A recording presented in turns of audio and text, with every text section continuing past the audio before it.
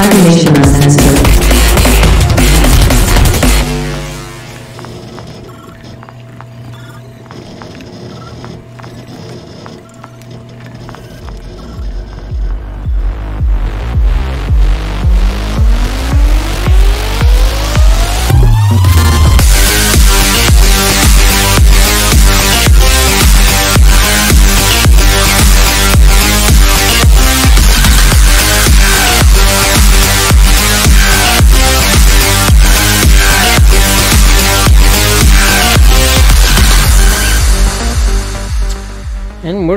live for 2023, the year the bomb went off. Hello, everyone. Uh, welcome to our little show of uh, the Forlorn Dopes, or Tales from the Forlorn Dopes. I'm your host, Cybersmily. I'm your co-host, uh, Wisdom, and I want to, you know, greetings, programs. Welcome to the first episode of the new year. Yes. We've got exciting things coming up, and uh, you know, hopefully, we're going to get some more interviews. Yep. Um, it's it's we're all just praying. I think that this year is better than the last. I know I sir. well, I think it, Ah. it, it can't be worse than, you know, 2020.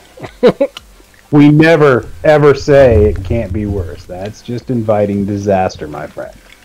Yeah, Uh, we just say we hope it's fucking better because 2022 was just about as bad as it gets for me. Uh, yeah. True. But uh, yeah, we uh, we hope it gets better this year. Um, So, um, on our little hiatus, were you able to check out any cyberpunk media at all? Uh, I was. Um, however, I'm now having a brain fart about it. Okay. Uh, Well, I can I, I can tell you a little bit about, um, and again, you know, um, our little uh, hiatus. I'm afraid real life kind of took a, a boot to my nuts, as it were, um, when it came to free time. Because let's just say work work wasn't pleasant, especially when I was supposed to be on vacation. Um, so yeah, the the things I saw um, that were kind of cyberpunk related is uh, Netflix. They had um, this show, a series called 1899. Um, in the trailers, it portrays the year 1899, a, a, a steam tramp um, trying to go to America, um, and and various weird things start happening. And at the end, and I don't think it's going to get picked up for another season, but um, basically at the end, you, you you found out that you know the the people are in a virtual reality simulator, ah, and I would, I would not have expected that. exactly. So, um, it'll be interesting. It would be interesting if there was a second season to explain what the whole story is. Um, I believe the producers are from uh, a show called Dark or The Dark, uh, which is another Netflix series. I think there's four seasons of that. Um, that is kind of more time travel. It's a great series. I, I recommend, highly recommend it. Um, just because they were able to keep the whole time streams very in sync, and it's when you start watching the series, you have to like go back and watch previous episodes because you're like, oh yeah, that what what, um, because it's very self-referential, I guess. Um, so that was that was a good series. Uh, the other thing that I think was close to Cyberpunk um, was uh, the Midnight Sky with George Clooney. Um, so I wanted to check that out. That looks pretty good. you want me to give you the plot? Sure. Or should I hold off? All right. So basically, No, we got a whole yeah. people here listening, so Yeah, so the so the plot is basically um, Earth is pretty much dead.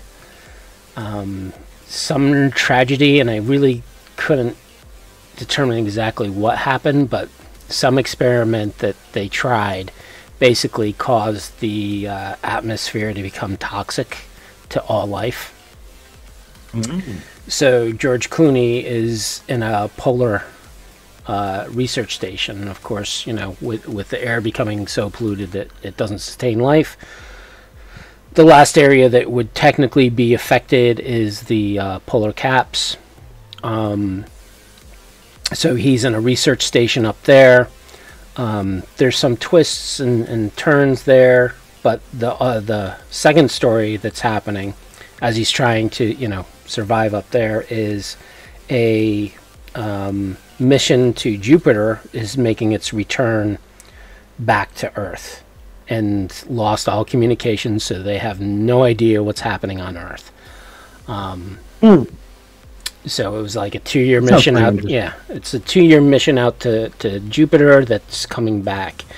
So it's was it 2049 48 i think was the year in the story so it's a little bit kind of cyberpunky uh, in that it's near future high technology um, kind of story which which i usually contribute to to cyberpunk genre stuff um, but it, it was uh, i had some problems with some of the plot there was some interesting twists in it um, that were nice, but there was also other other things in it that you know kind of I was annoyed because um, basically at the end everyone dies. when I mean everyone, I mean No, all of no. humanity. There we go. So Uh, I watched uh, the Last of Us premiere on Sunday night. That was that was pretty good. It, it pretty much followed the game beat for beat. So if they continue along those lines, it should be a pretty solid series. The acting was all solid. yeah, Uh, it has high ratings too. It's like ninety percent on um, plus ninety percent on uh, Rotten Tomato. I can't remember her name, but the little girl who played uh, Ellie, who was also from uh, Game of Thrones, she played Lady Mormont. Yes. Uh, she's a fantastic actress. I'm sure she'll do great with the role. However, the little the the girl that they had playing Sarah Miller, uh, I would have I would have switched those two roles. Like, yeah, um, she was fantastic. Were you able to watch? that was- what was it? Uh, what else was recommended? Uh, Future Warrior. Um, Future Warrior. Uh, no, I don't think I've seen that one yet. Who was it? John. Um, gave us a recommendation. Yeah, yeah. So um, I think next time we'll it's on my list. Yes. it's just uh, let's make it a point of uh, us reviewing it next uh, episode, as Just- it were. Sure, that that'll work. Um, I also finished up the uh, the third season of Jack Ryan on Amazon. That was that was pretty good. It's not really cyberpunk, but it's kind of cyberpunk adjacent, like Like high you level could, espionage. It's you could see a Black Ops team being inserted, and yeah, I mean, it's like that. You could put that plot into a cyberpunk game, and it would it would flow seamlessly. yeah, there was a movie Um, back in the '80s that ne- wasn't necessarily cyberpunk, um, but it was like two corporations going at each other trying to buy a, a an NFL team. And I could see like, oh yeah, they're they were two media corporations, so they're constantly smearing each other. But I could see like taking that as a campaign and inserting Black Ops team and, and other things uh, to to make it into a cyberpunk uh, absolutely. campaign. Um, I mean, it's not really Jack Ryan from the books, so if that's what you're expecting with the series, you're you're going to be a little bit disappointed. But as as its own thing, it's probably the best you know espionage show I've seen in a long time. It is it is very much not just guns a blazing all the time. Although there there is plenty of Yeah, that reminds me, um, and I don't know if we talked about it on the podcast, but Thomas Clancy had what was it? Net. It wasn't Net Watch. It was something Net. um, that they actually made into like a, a mini series. NetForce, Hmm. that's it. Um, Uh, so so NetForce was kind of cyberpunky, and that it was kind of like bleeding edge um, technology, uh, a little yeah. far, not necessarily far future, but near future. Definitely sci-fi. Um, Well, I mean, several of the uh, several of the Tom Clancy ba- uh, labeled games have, have certainly skirted the edge. Like the uh, some of the Rec- Ghost Recon games from like the mid two thousands uh, were like Future Force, and they all they all took place in uh, a near future setting. Which you know, to me, that makes them cyberpunk. yeah. Yeah. So, Um, so- but he's got there's there's just so much that falls under the whole uh, Clancy brand that it it really gets overwhelming at times trying to figure out you know what it all means in relationship to each other. yep. I didn't read the books, so uh, well I read I read the original Jack Ryan books, so I had those, but I didn't read most of the stuff. Just Right. Slipped under my radar. Um, the other upcoming series, movies, something that's coming out that's kind of cyberpunky. Um, the only thing I'm seeing on the radar is like uh, the Pod generation, which looks like it's a near future. I think I talked about it in previous episode. Megan. Um, now that Yeah, it's kind of out, is good. is very uh, was it kids play? Is it child's play?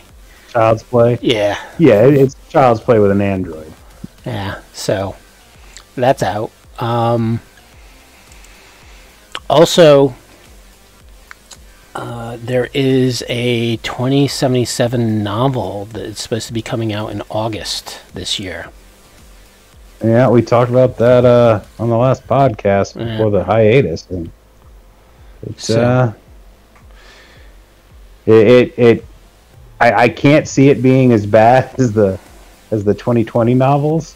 Um, so we're just gonna keep our fingers crossed. So far, all the all the 2077 stuff has been top notch. So Well, just remember, Uh, of course, um, Skorkowsky uh, did Skok- bleh, bleh, Seth. He- we're he- never gonna let him live that down. Yeah, he he did put it as a t- two or a three on Goodreads, so he It- thought it he, he found some yeah. goodness in it. He is a he is a far more generous soul than I am. But yeah, f- for um for the 2077, Amazon actually has a blurb about it, so you can actually read uh, what it's supposed to be about. It looks like there's uh, was it this newly formed gang composed of veterans turned renegade, a sleeper agent from Militech, a computer nerd, a therapist, a ripper doc, and a techie must learn how to overcome their differences and work together, lest their secrets be unveiled before they can pull off the next deadly heist. Yeah, that's sounds like a little bit of something for everybody there. At least everybody's a fan of, of the game. Very true. Um, I'm trying to think if there's anything else. So, so the problem when you're doing sci-fi and, and trying to find it up or find anything that's upcoming, there's so many superhero stuff Yeah, or fantasy, and I'm like, that's not sci-fi. you just kind of throw it all together like that and uh, hope for the best. But when you're trying to find something, it's it's very not conducive to that. Yeah. So. Um. Other news. So Black Chrome is coming out this Yeah, year. it's they they put out the official advertisement blurb from R. Talsorian, the announcement, and uh, It's at the printers. Yeah. It's at the printers. It's it's it's it's finally happening. It's real. It's coming, and we'll get our hands on it. I have to say that I think other it beats uh, version three from uh, when it was announced to actually being produced. So, It does. because Um, I, I, I mean, it's it's what everybody's been waiting for. So yes, uh, a little bit of gear porn is is nothing but good for for the game. I like to read what the Economy 101 section is. Um, Yeah, there's a lot of interesting tidbits in there. They haven't they haven't released too much information, but what does what they have has certainly piqued my interest. yeah, so that's coming out on hopefully next month, maybe March. We'll see. Um, yeah, so now they have what the uh, Danger Girl dossier is still uh, has to come out, and Rogues. What was it? Rogue something or other. And then, of course, uh, the Edge Runner supplement, as well as uh, 2027 or 2077. Yeah, So it's uh, like things are in the pipeline. Things Yep. are uh, things are progressing, and it's looking good. So the other thing, um, which I think we wanted to address because it's the 400 pound gorilla in the room, um, happening within the gaming community is uh, the OGL and what's going on with Wizards. Um, and whether or not it's a good thing, bad thing, should, you know, R. Talsorian adopt it?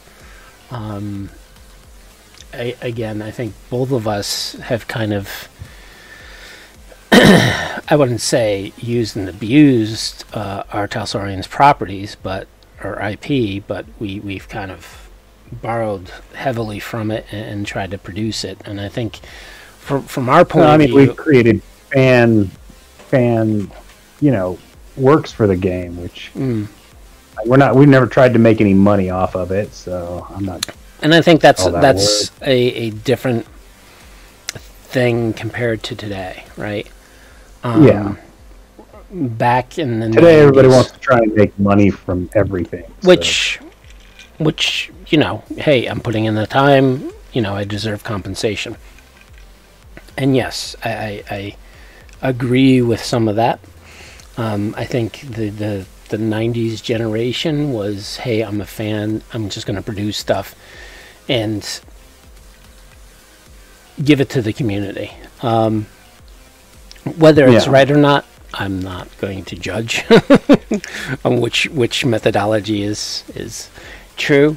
Um, Well, I mean, the OGL for third edition, just on the one hand, it let everybody who was, you know, writing for that game, uh, self-publish and get, you know, get their ideas out there. Some of them, some of them worked, some of them didn't. But it created such a massive glut of, of product for Dungeons and Dragons that it was, I mean, for ten years, that's all anybody played.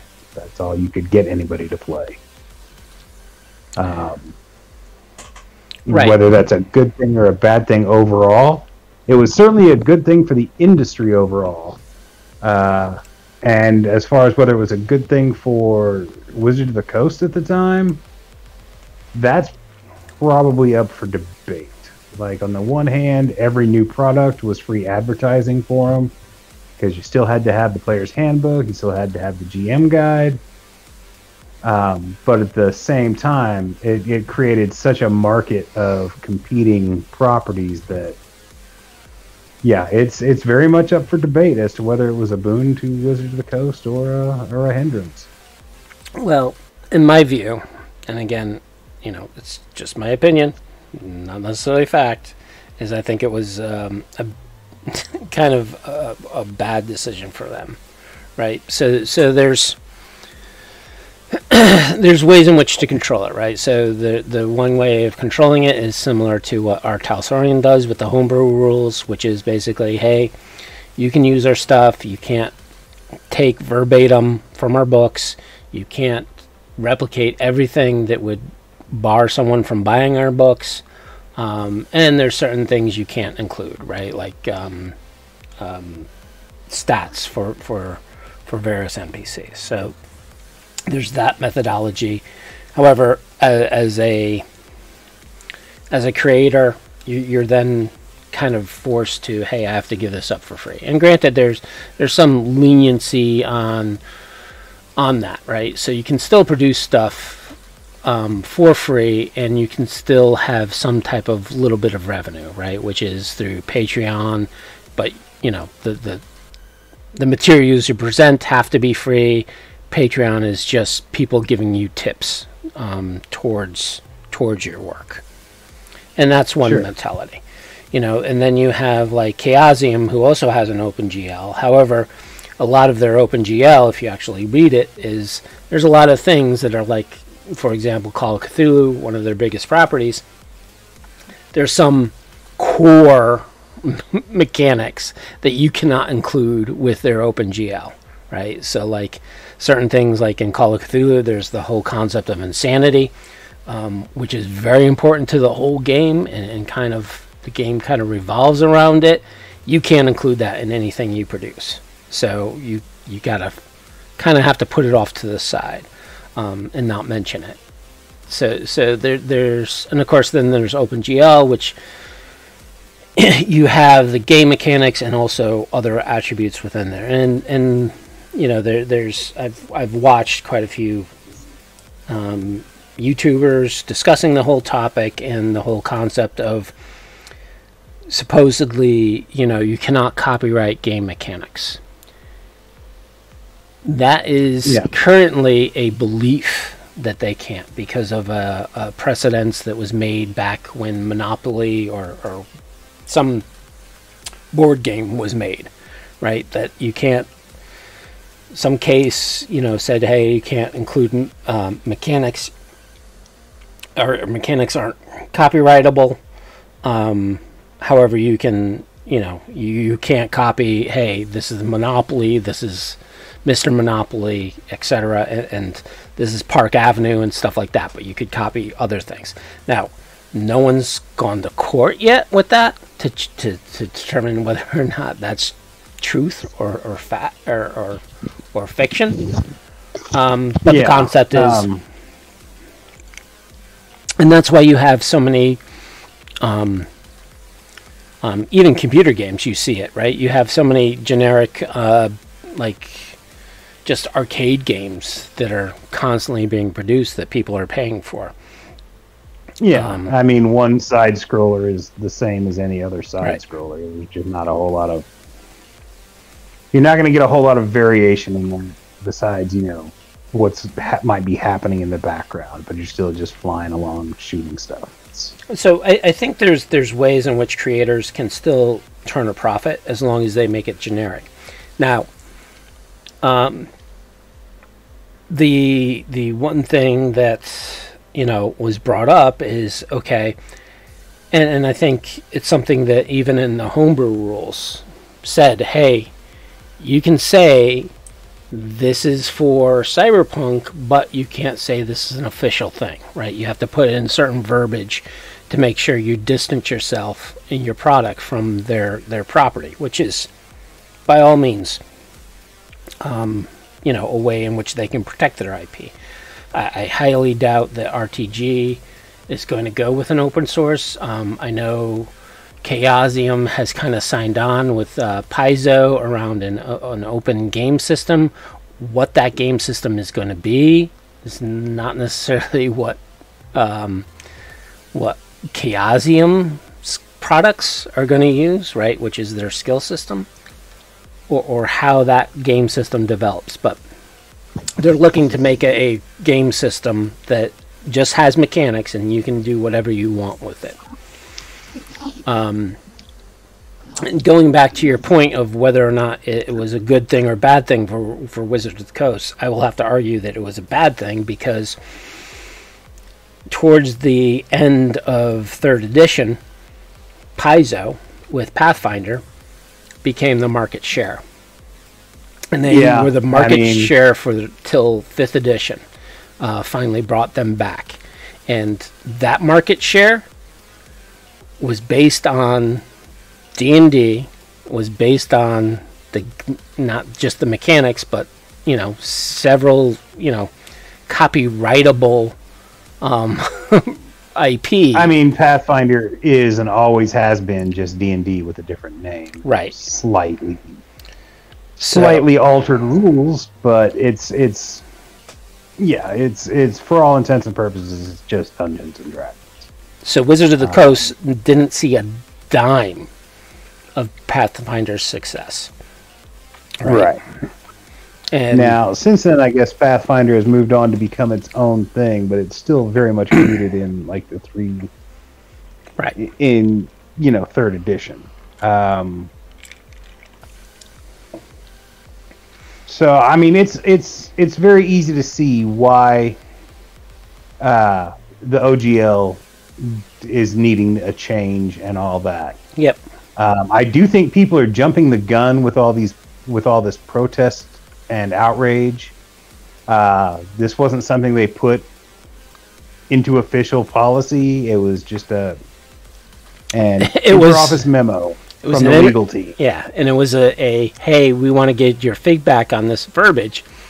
And of course, someone read it and was like, "Oh, this is going to be the new, you know, the the the Bible, and and this is law now." And it's not. I mean, my honest take on the whole thing is that it centered around D and D Beyond, and so many people were wanting to get all these off-company supplements added in, like they did with Critical Role, and they're like, "Well, if you want your stuff," my opinion on the subject is that if if people wanted their stuff to be added to D and D Beyond, then you know D and D uh, Wizards of the Coast would get you know some some royalties off of it Yep. uh, that there's a whole lot of work that goes into D and D Beyond, and Yep. honestly, regardless of your opinion of Fifth Edition or not, D and D Beyond is the greatest tool for a role playing game I have ever seen in my life. It made me want to play Dungeons and Dragons again, which is something I swore I would never do after they released Fourth Edition.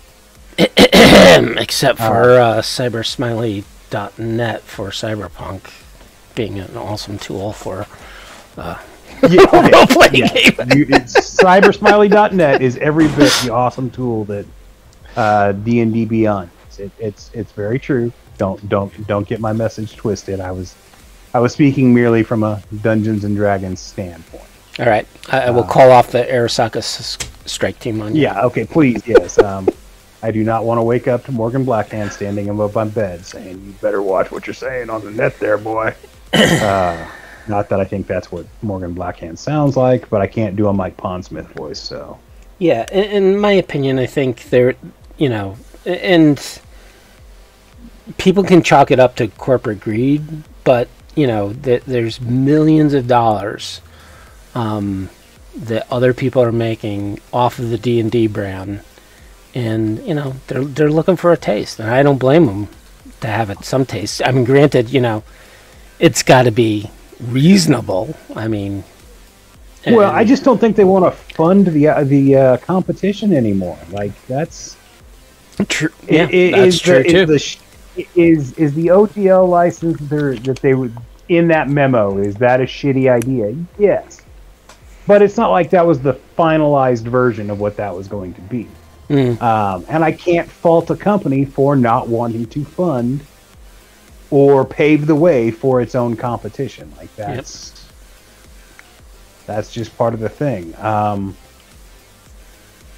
all these companies that were like uh, that want to put out material for uh, their own supplemental material, following the you know fifth edition rule set and all that. If if they're really, I don't know. I, I I'm always, if you want to make money on something, uh, it's best to do it your own way. That's like, don't try and join somebody else's stuff. Otherwise, you're just trying to get paid for fan fiction. And basically, what you and I do is fan fiction. We Hmm. we're not trying to make money off of it. Uh, Or are we? I mean, I wouldn't be opposed to getting money for it, but that's never been never been my goal. Yes, neither my goal either. Uh, Well, I mean, my goal has uh, my goal for a long time was to work for R. Talsorian, which you know, in effect, would hopefully bring money into my pocket for that. But yeah, some dreams, some dreams, yeah, just you realize that they're not going to happen. So, Yeah. Well, with with my site, it was more like um, a hobby, right? So some people Yeah, invest too. money into doing whatever um, and getting very. They're not. They are getting a reward, but they're not getting a, a financial reward for their abilities. So the money I put into my site um, to keep it going. Granted, it was free in the beginning. It's a little more expensive now, but a um, little bit, yeah. it, it- to me, it's definitely well worth it. And um, It's it's no longer the days of GeoCities and yes, the good old days of free stuff. Yeah. So, um, yeah. All right. Uh, I guess we're kind of done on the subject. Mm, Do you want to move on? Well, I mean, just my last word on the OGL subject is like wait until they you actually see what they're doing before you get all up in arms. Like it's okay to you know talk about it, but all this, all this I'm never playing D and D again is it's a little premature at this point. Yeah. if you want to know a bad ga- game company, go to uh, Games Workshop. Um, or sorry, money, a, a greedy money, uh, hungry. Uh, yeah, I mean, or gaming company. Palladium Games, like i i- when they're when they when when Wizards of the Coast starts suing fan sites, uh, and sending them cease and desist orders, that's that's when you know things have tipped the scale. Yep. So, all right, our, our little diatribe on various subjects in the real world and uh, upcoming stuff. I think we're kind of done. So, we're starting the year off on a on a second uh, show within a month. So, therefore, we're going to be doing a book review. And the book review we're doing is Bartmoss's or sorry, Rache Bartmoss's Guide to, the Net. Um, Yeah, Published- definitive look at the internet of 2020. This was published back in '93. Um, there was uh, quite a few authors in here. Um, Edward Bloom, and again, if I'm butchering these names, it's because the the scan I have is horrible, and also the the yeah, the color combination they used was pretty not that great. I mean, it's definitely shocking and, and eye catching, but for reading purposes, not so much. Um, you have David Ackerman, uh, who is also an editor, um, Derek Quintanar, who is also an editor, and Steven uh, Subram, with contributors of Bert. I can't even read that name. Combs? Coombs? Uh, yeah, you got me. Uh, my my version of this is uh, yeah. Marcus Darby, Mike Malecki, and Mike McDonald. Um, I'm sure he changed his name to Mike McDonald and not Michael McDonald. Because he can't forget. How's that uh, song? I don't get that reference. Really? Michael McDonald? You don't know who that is? No. He sung, I supposed to? he was part of the Doobie Brothers. Um, Oh, had yeah, a that's- solo career. I mean, I, I consider myself pretty hip on music. No, back in the 80s and 70s. on my radar. I would probably know the music, but Yeah, I, I, I'll play for you. You'll you'll be like, oh, that Michael McDonald. no. Um, yeah, the Doobie Brothers were never my jam, I'll just say that. Um, the art in the book uh, was quite a few, um, but mostly Silicon Graphics. Um, so Silicon Graphics Computer Science. They actually created a bunch of um, computer graphics back in the day, and I think there was videos. So so the imagery in here, um, there's actually like animations uh, associated with it, which which I was kind of surprised that R. Talsorian was able to get Yeah, this into their thing. Um, but yeah, they're they're, and again, I, I think was from the, a go ahead. yeah from a modern standpoint, this art is very dated. Uh, at the time it came out, it was it was fantastic. It was cool. It was, um, it, at the time it was fairly state of the art, especially for you know a gaming supplement. Uh, but looking back, it's it's like watching reruns of Reboot or Lawnmower Man. It just it's a little the art is a little dated. It still it still works for what it's supposed to do, and with the uh, with how people look at cyberpunk these days as being like retro futurism, it, it, it works perfectly with that. Um, but yeah, it's it was when it when when this book first came out, the art in it was a new concept in gaming. Really, uh, it was the first. It wasn't the first time I'd seen computer art represented in a game book, but it was the first time I'd seen it to this extent. Yeah, and I, I think you can probably uh, go to uh, YouTube and try to find um, some of the graphics uh, that they have and actually see the animations that were associated with um, with this book. I'm trying to think uh, specific examples, but I know um, throughout my years I've seen a lot of the images animated. um, Huh. I don't know that I have. Really? Yeah, Yeah. So this Learn was something new every day. It, and I think Well, well, the and again, um, your Ultra Chrome book, yeah, uh, with the the woman laying back, I think was a derivative, or a animation was a derivative from something that um, the the Silicon Graphics did as an animation. the with the ultrachrome the the art that i found uh it's it's derived from Hajime Sorayama's sexy robots Right. Which I think kind of is a blend of, of that whole thing. Um, yeah, Uh, so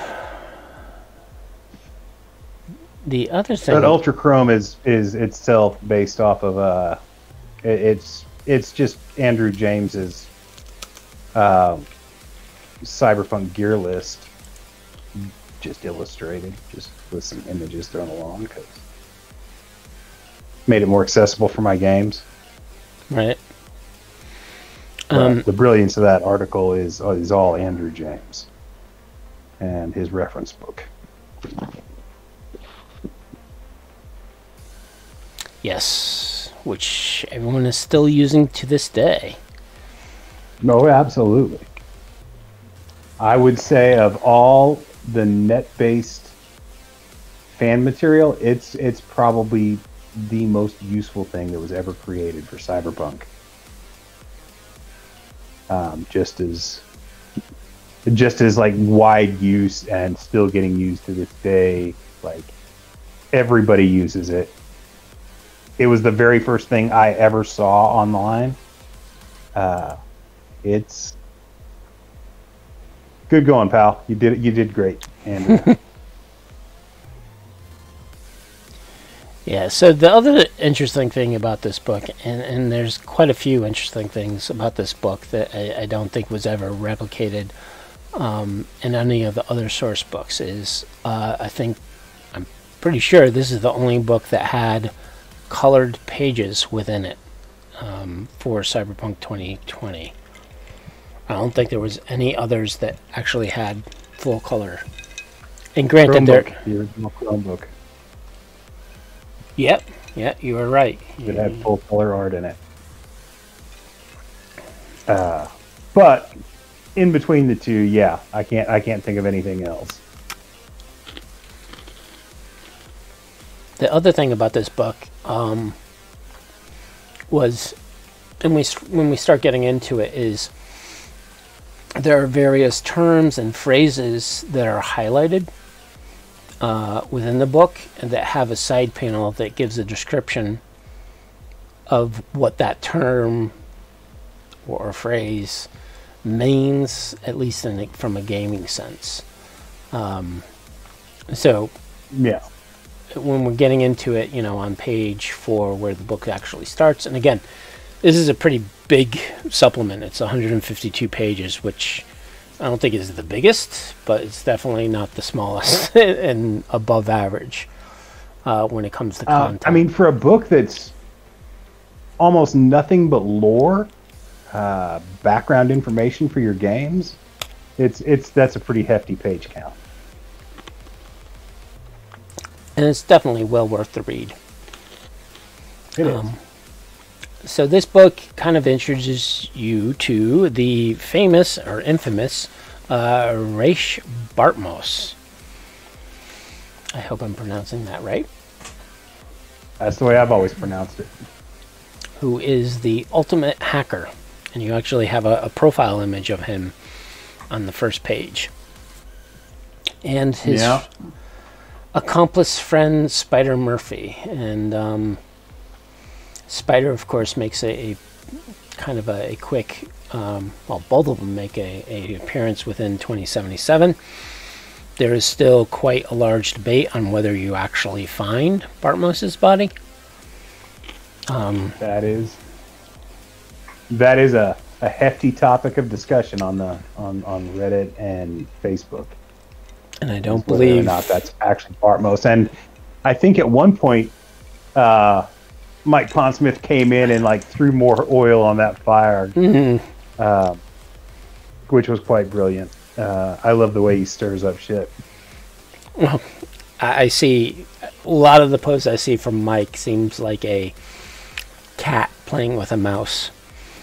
Uh, he is so tongue in cheek about everything. He's, yeah, so, um, so we really don't know all the facts, and I think the the other problem, and something I brought up with when people were debating, and I forget, I think it might have been about um, Morgan Blackhand, but it's like, okay, I can give you the facts according to this source, but again, Mike was slick enough to put in, oh, the data crash changed everything. So whatever you're reading was changed by the, well, I don't think it was the data crash. I think it was the paper virus, right?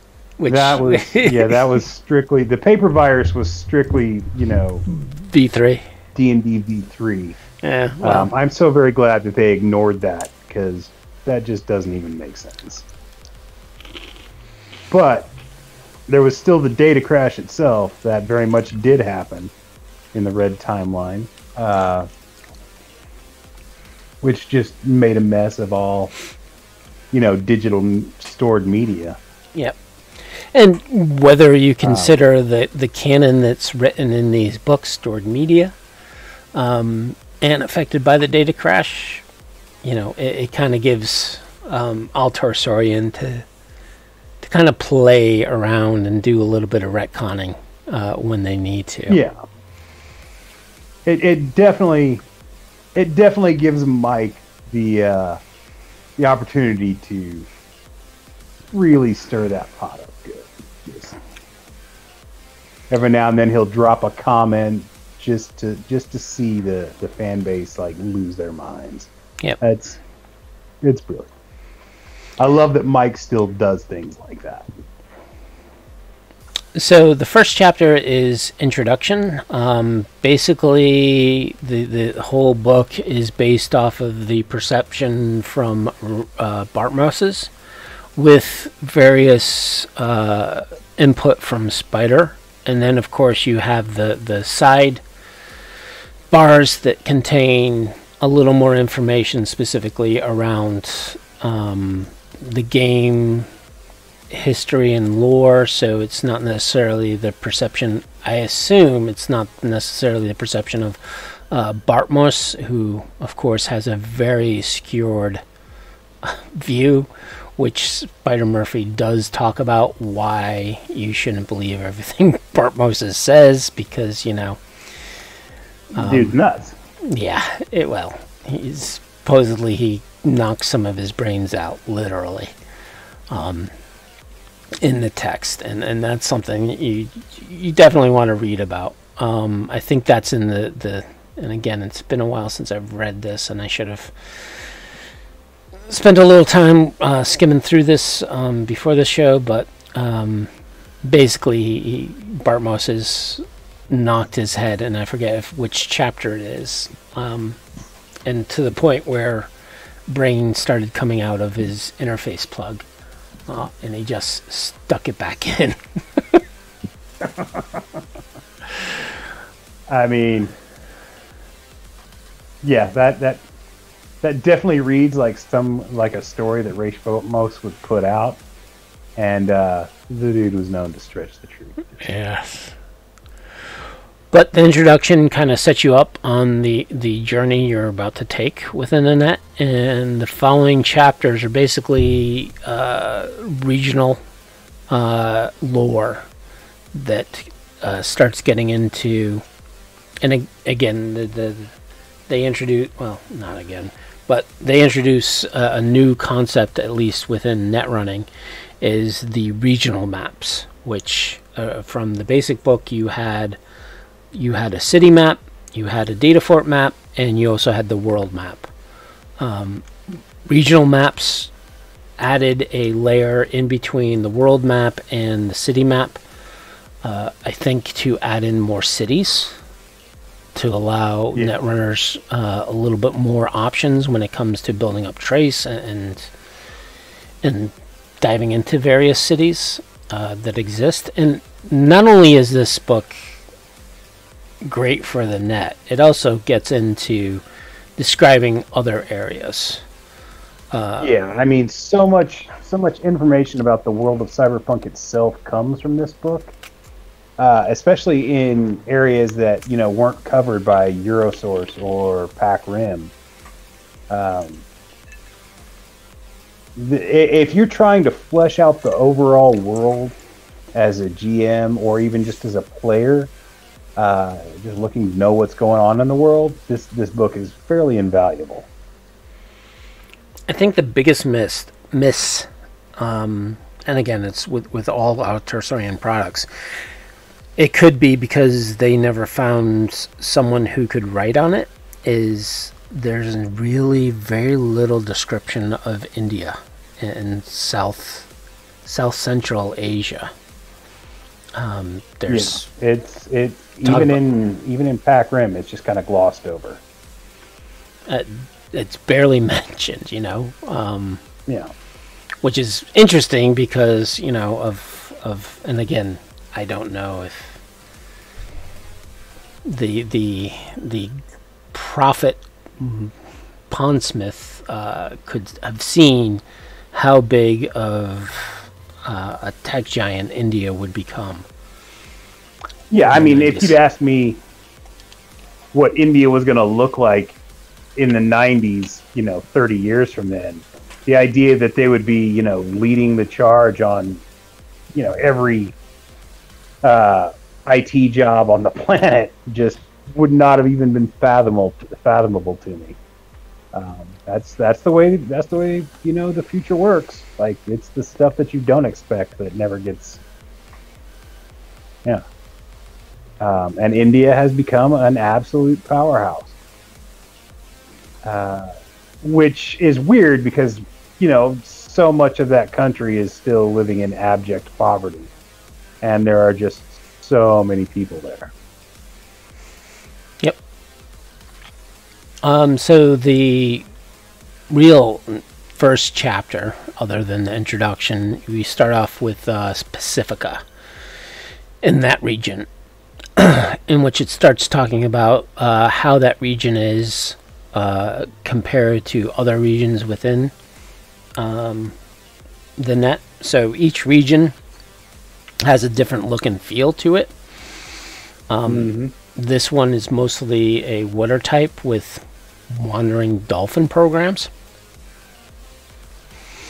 which I thought was kind of interesting.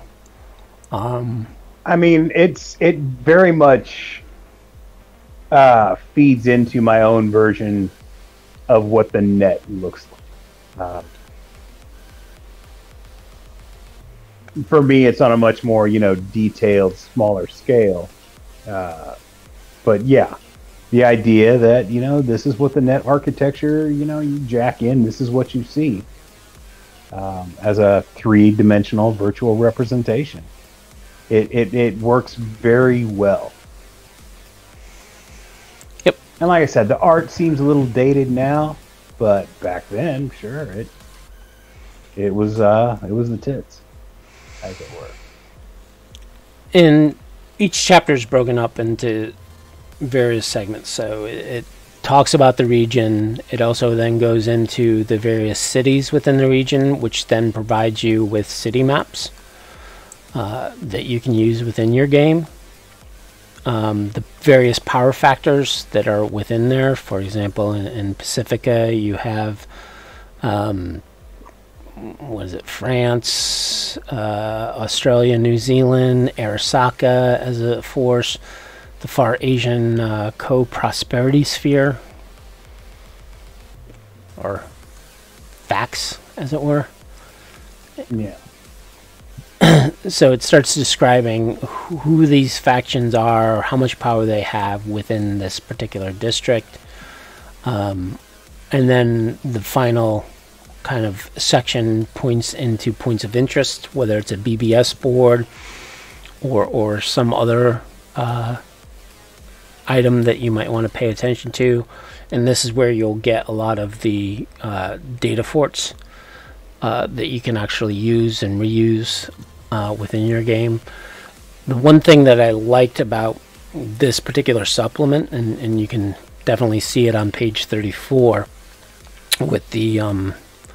Uh, all right, I'm going to get Hello, this. Philagaia. Philogaia. yeah, Philogaia data fort. Um, and, and this was something that really opened my mind on net running is making it a multi-layer data fort. Yeah, and stacking it as it were.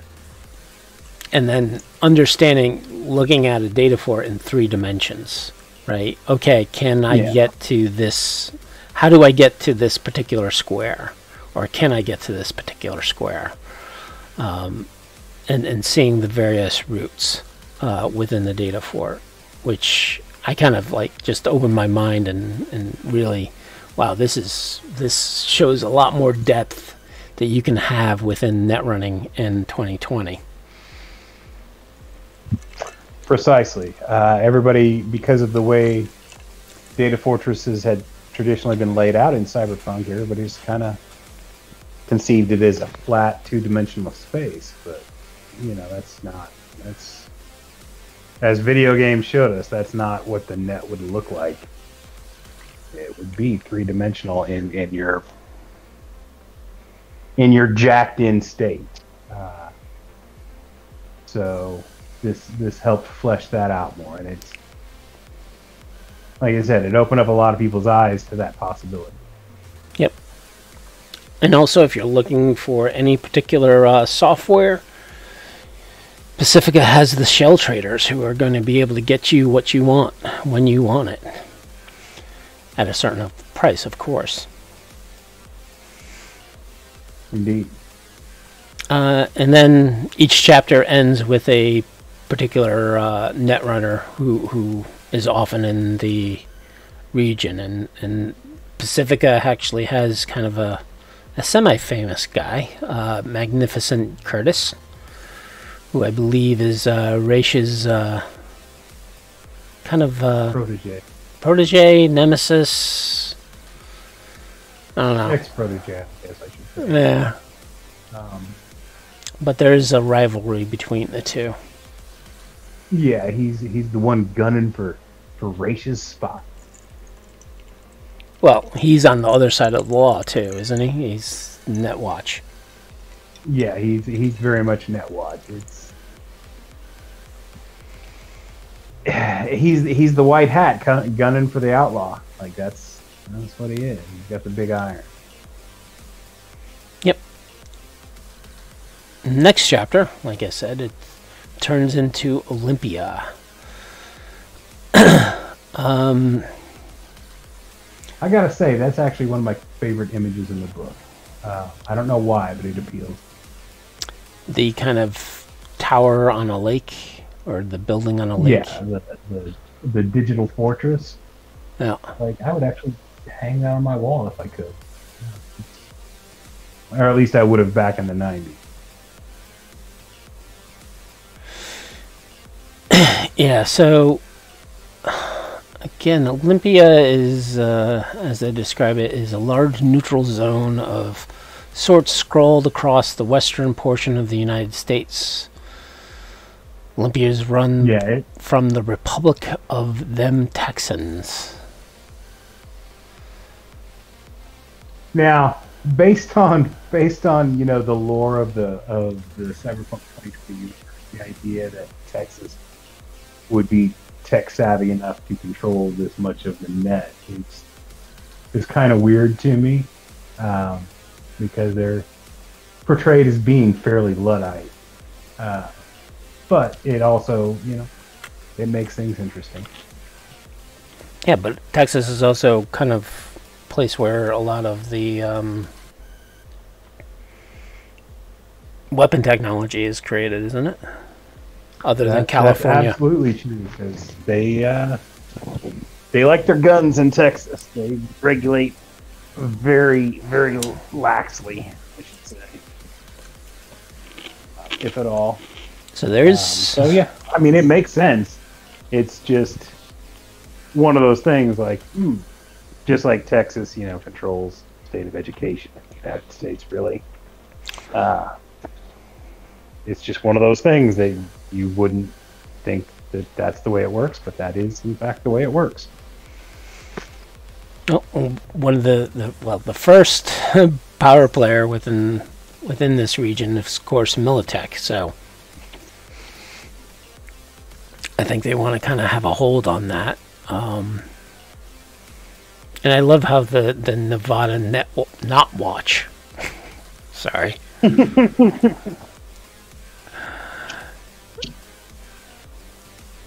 Who are basically um, I don't think they're necessarily affiliated with NetWatch, um, which is why. Uh, I mean, the case can be made either way, really. Uh, it's just how you know individual GMs will interpret that. I think, as written, I think you're right that they're probably not affiliated with their, Oh. to their own thing. if Bartmoss likes them, Uh, they're they're probably not NetWatch. Yeah, yeah, they're they're they're probably uh, somewhat easily corruptible and open and free. Uh, yeah, Olympia's a Olympia is a strange conglomerate. And not watch is, is a fun concept. Yep. And again, like I, I mentioned earlier, there, there's these little blurbs. um, and it's interesting to, to read some of them uh, again and how the game mechanics are introduced. Um, so there's not really a, a consolidation of these rules, which of course would have been nice at the end of the book. Um, but just these blurbs on the various sides, which of course makes you have to go out and buy the book and hunt and pick some of these some of this stuff to figure out exactly what's going on. Um, Yeah. and then of course to, to accumulate them into one source at least back in the day was was always a challenge It didn't help that, you know, none of the, with the exception of the Chromebooks, none of the Artalis books had indexes. That would have really helped out a lot in a lot of situations. I know when I was researching any of the source books that I was creating, especially for conflict source books, I would pour over books and have to tab everything. well for any gaming product back in the day, it was it was you were lucky to get an index. Um, yeah, it was a blessing. It was it was a rarity.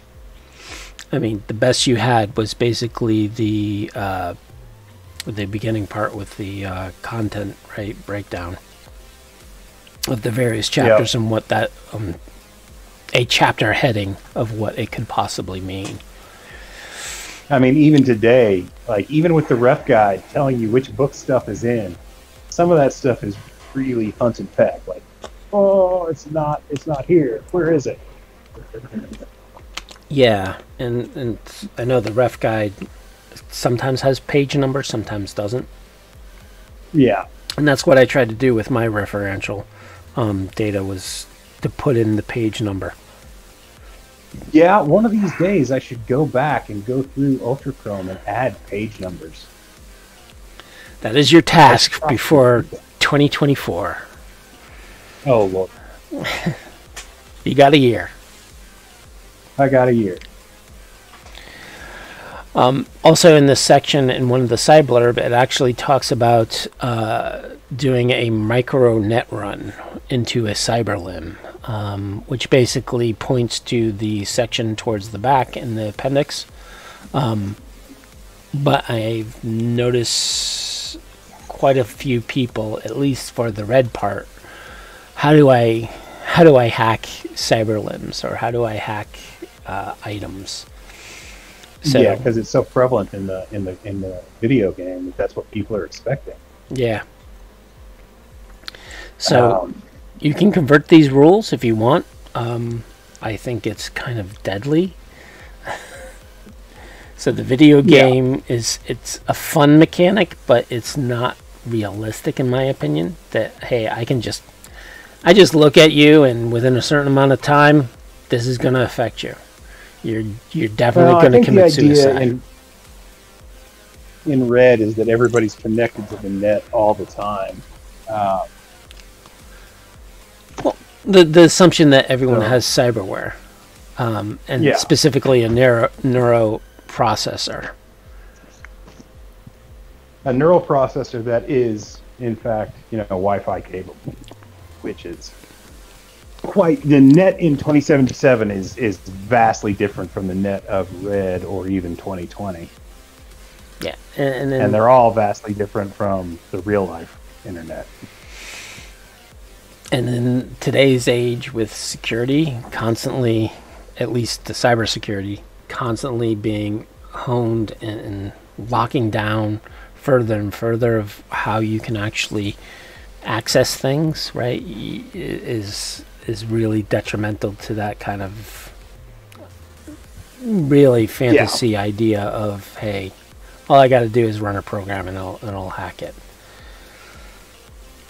Um, Yeah, the the 2077 mechanic is is great fun for the game, but it, it I don't think it would work well in an actual RPG.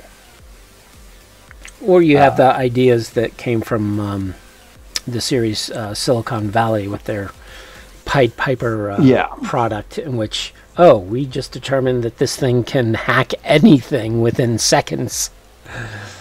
Yeah, it's some it's some it's some neat sci- science fiction, but it's that's really what it is. Which in a game where uh, it, that can be used against you, the fun wears off would wear off pretty quickly. And I think that's one of the problems, I think, with when you look at 2077 is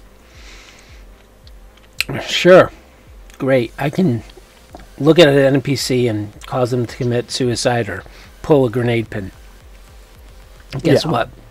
If you're a proper cyberpunk GM referee, you have the same options to apply to players. Exactly, and and it generally much from much more powerful sources. Uh, it's one of those. It's it's one of those. It's a video game mechanic that that works in the context of the video game, but really wouldn't work outside of it uh, and create any joy for any anybody. Yep. It's uh, it's like the 2077 interpretation of Sandevistan. Like it doesn't make you super fast. It just gives you a little bit of a boost to your initiative. Like, mm. Yep. And this chap chapter also provides you with uh, two more cities uh, Denver, well, part of Denver and part of Las Vegas. Um, and quite a few uh, data fort maps as well, which also includes a satellite office of orbital air and a, and a netwatch uh, fort that, of course, you can always uh, replicate. I love the section on petrochem. I, I, I love any anything that you know gives you more information about the world. I love lore. Um, anybody who's been to my site knows how much I love lore. So, as I as I said, this book for anybody looking to deeper dive into the world of 2020, this is this is required reading.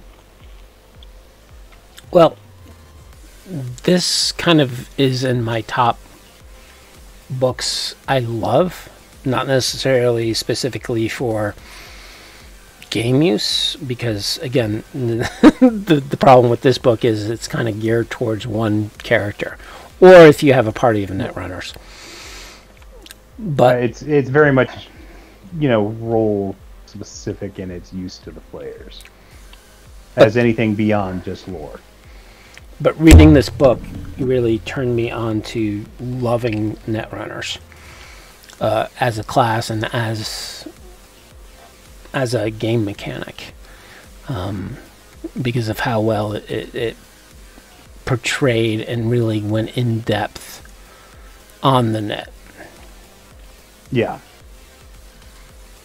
Like I mean, looking for most players looking back today, uh, it's the impact that this book had when it came out just isn't really palpable. Uh, I mean, before this book came out, the the net in 2020 was just this weird, amorphous, abstract thing that you know one class had access to, and nobody else knew really anything about it, and the GMs were all just making shit up as they go.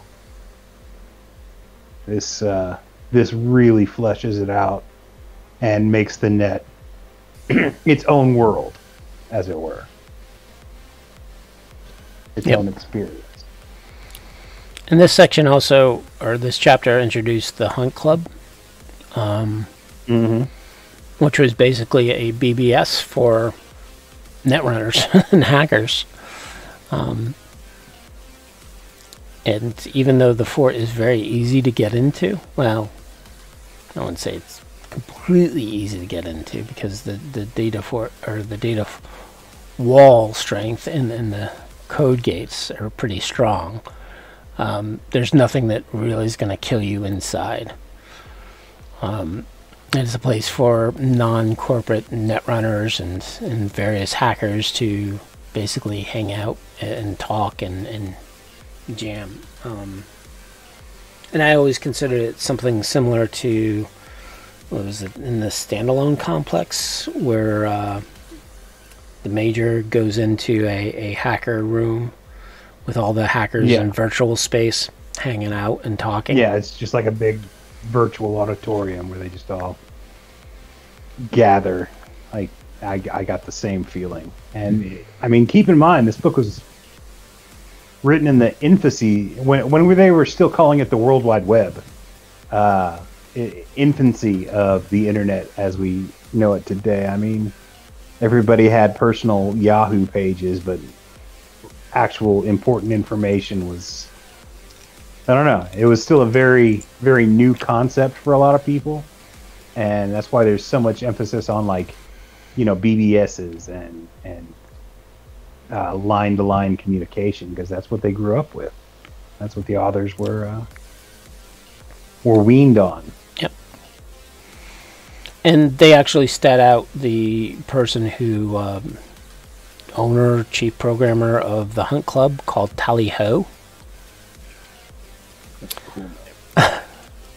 Well, it's interesting to look at these stats, right? So you expect a, and granted the stats are there, but if you're looking at a player who wanted to be the ultra netrunner, their their intelligence would be a 10, their reflex would be a 10, and their tech would be a 10, and all the other stats they would put as garbage. Whereas Tally Ho, highest stat is cool, which is a 10. Their high, other highest stat is luck, which is a 10. Their intelligence is a 9, their reflex is a 6 or 7, and tech is a 6. So, um, it's definitely interesting to look at uh, the various NPCs within our, any of these supplements and see that how they're not always power gamers.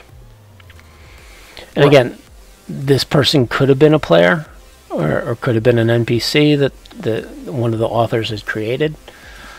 We'll we'll know until we interview those people. That's very true. Um, yeah, I'd like to get a tally on that, on which which NPCs were actually, you know, played by people and which were just you know made up for the books. That would be, I would I would think that would be fairly interesting information. Right, like like all the people that are mentioned throughout the books. Um, you know, from from Mike's point of view, like who, who were the players and who were not. Right. So Spider was Lisa's character. Um, we kind of know that. Uh, you know, Ripper Jack is Mike's character, but you know, was Johnny a character or was he an NPC? Um, Um, I always got the feeling that the Silverhand group was like the first group of players that J- uh, Mike Pondsmith ever ran. Like they were his original group.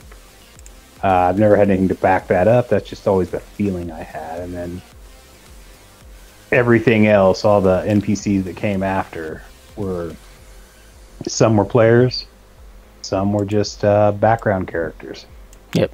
at least as far as the stuff that Mike wrote. Right. With other authors, who knows? But yeah, every interviewer, every interview we do from now on, we should remember to ask, you know, which which characters did you play? Which were uh, actually part of your group? Once we start But, lining uh, up those people. Yeah. Um, so we're at the end of chapter three, moving on to chapter four, which is the Rust Belt. So this is basically uh, kind of the Midwest from Texas on to the East Coast. Um, this zone is supposed to have a very uh, industrial uh, look to it. Um, mainly because this is where most industries I guess is, is the concept that is there. Um, so this is going to be the last zone of the United States uh, that will be discussed, and um, and the various factors that are in here. Again, NetWatch is always mentioned in every section. Um, each NetWatch area is a little different. Uh, so you definitely want to read up on a particular zone's NetWatch.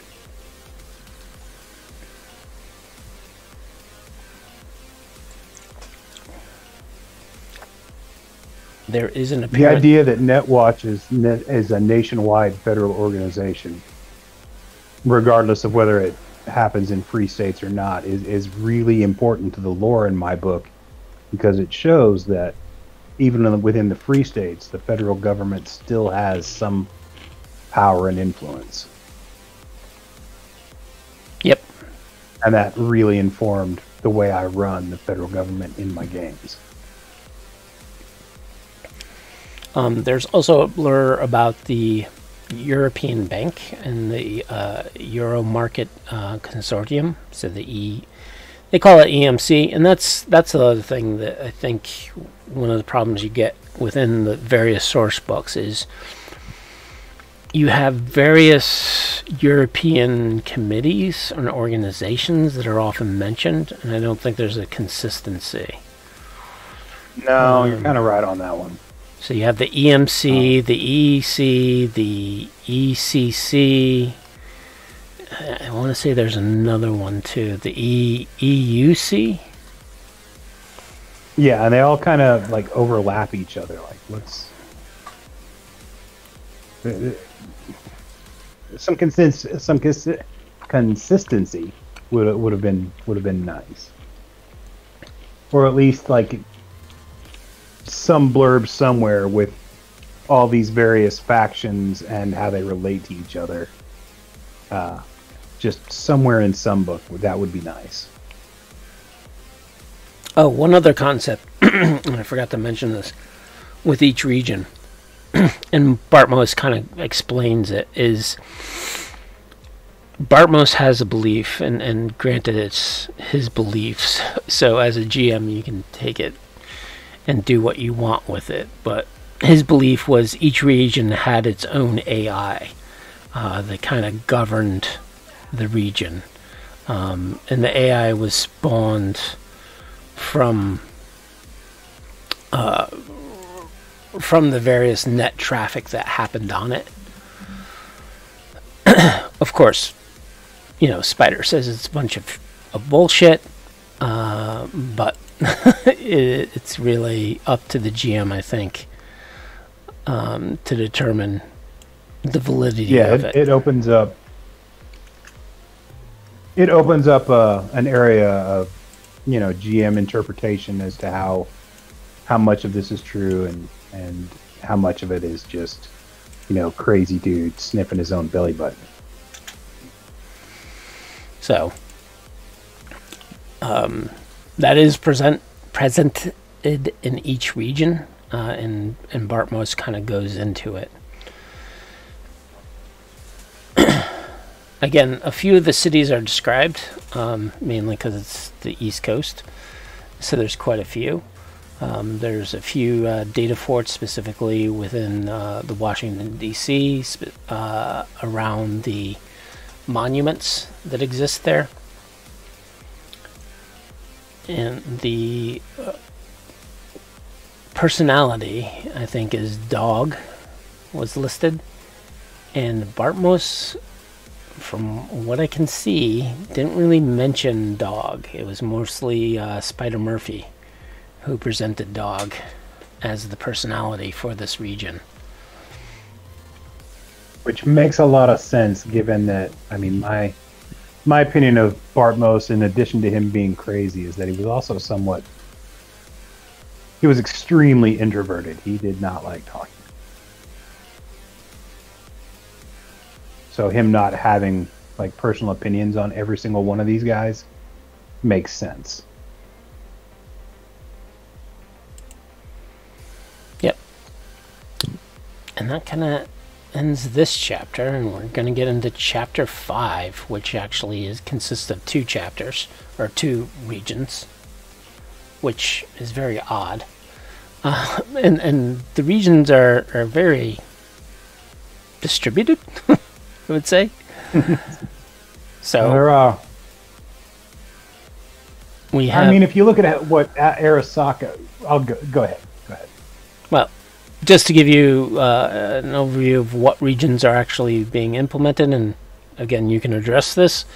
So you have uh, Atlantis, which encompasses South America, and you also have Tokyo Chiba region, which is interesting that Yeah. Tokyo and, and or sorry, Japan has its own region. Um, I think it's the only. Um, I mean, it was the '90s. It was perfectly believable that that's the powerhouse that Japan would become. Uh, and the fact that this book is also include, or this chapter is also including South America. I mean, Arasaka had, in the 2020 lore, had at that point established such monumental influence over South America that it, it makes sense. It basically is the police force uh, for the entirety of Brazil and uh, well, and technically, many of the uh, technically ran what was it um not colombia was it peru or argentina that basically was I- run by arasaka with a uh, it was It was uh, it was Brazil out of and because it was uh, because they had such a foothold in Portugal that they extended that influence into Brazil and then Argentina. Okay. Well, you did write a source book on it. so I'll take your word for it. That's uh that's always a scary concept. I'll take that guy's word for it, but, I'm an idiot. Eh, you're you're smarter than the lore than I am. Yeah, so there is definitely a lot of um, Japanese uh, powerhouses uh, mentioned. Uh, Disney is also mentioned, which I thought in America Disney was turn or the Bloods took over Disney. well, they took over Disney World. All right.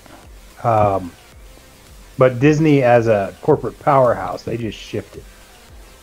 Um, I mean, Disneyland is still there. Euro Disney is still there. Uh, Disney Studios are still churning out, you know, children's Fair and whatnot. Um, so yeah, it's it's still there. It's still a powerful entity. It just Florida was written off due to coastal flooding and just general collapse. Well, I hope the big D isn't listening and starts going after R. Talsorian for uh, printing their name in their book. And I think that's one of the things of, of before. I think they'd have a hard time going after a book that's like 30 years old. You'd be surprised. Don't know what the statute of limitations are for copyright. Yeah, yeah, I'd probably be surprised. That's that's a very sad state. But that's an interesting thing to see, and, and you know, for for younger viewers, um, product names and company names were freely used in various books, game supplements, um, and and other areas compared to today, which a lot of uh, companies now have kind of strut their uh, or flex their muscles to protect their brand, as it were. Yeah, I mean, even even back then, like Disney gets mentioned a couple of times in Disney World, like in the uh, oh the um, Home of the Brave.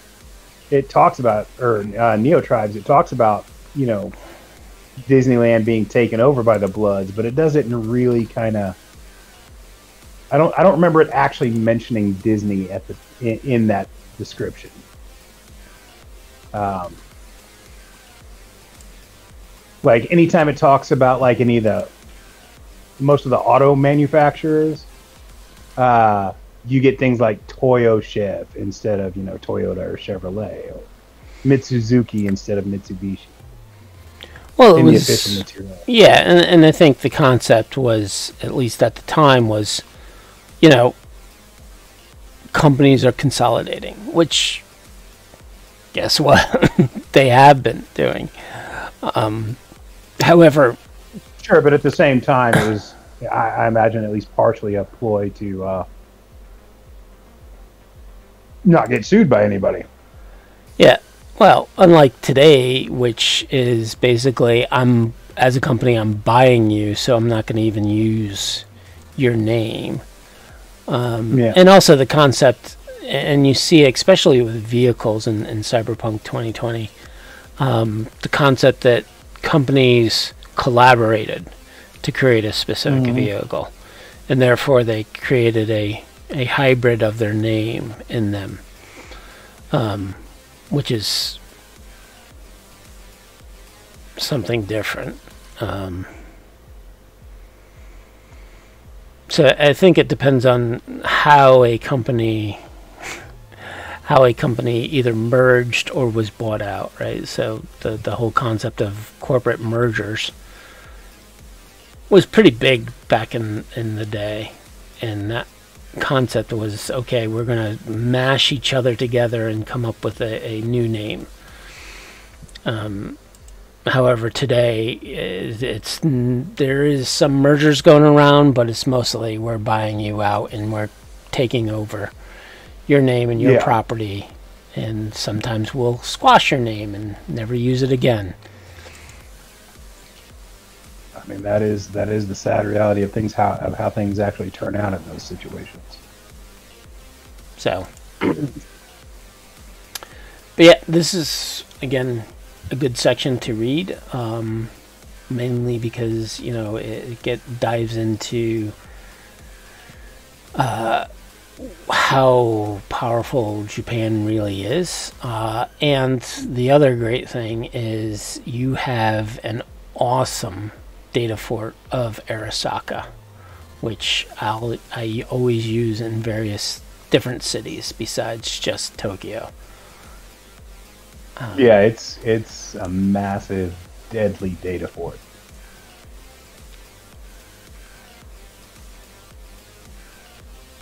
So Not for the faint of heart.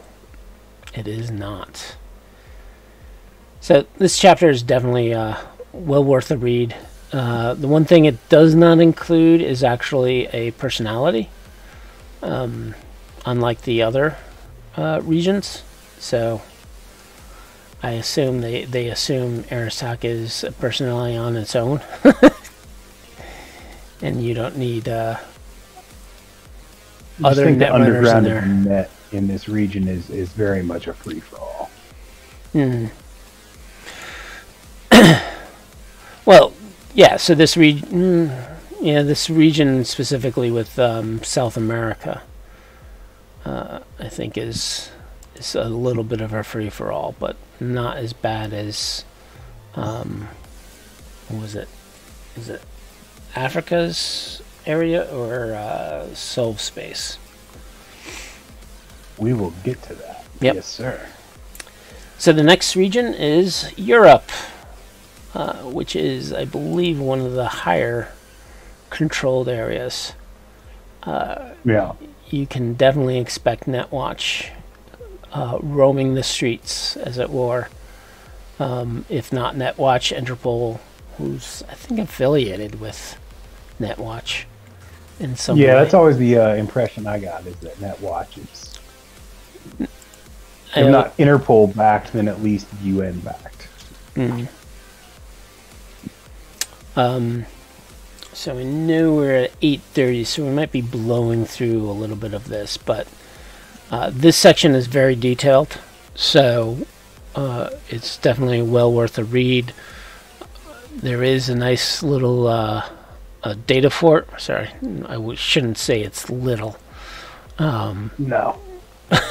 but it is a nice setup of, of, of a data fort because it gets in again to that multi-layer or leveled data fort and it it really is a fort in which you have certain asque- uh, access ways that you can only go through and need to uh, kind of kind of route you in certain ways More than any of the others, this reminds me of the old game Adventure.